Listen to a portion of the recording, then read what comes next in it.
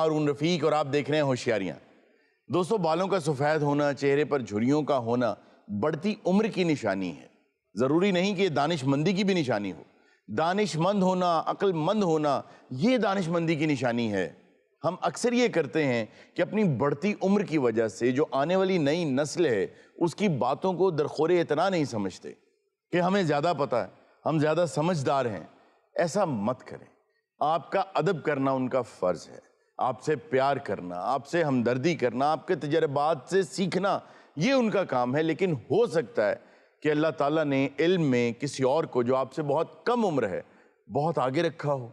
कोशिश ये करें कि माँ की गोद से गोर तक सीखते रहें और इस तासुब से बालातर होकर कि कोई आपसे उम्र में छोटा है या बड़ा है। आइए इसी पैगाम के साथ शुरू करते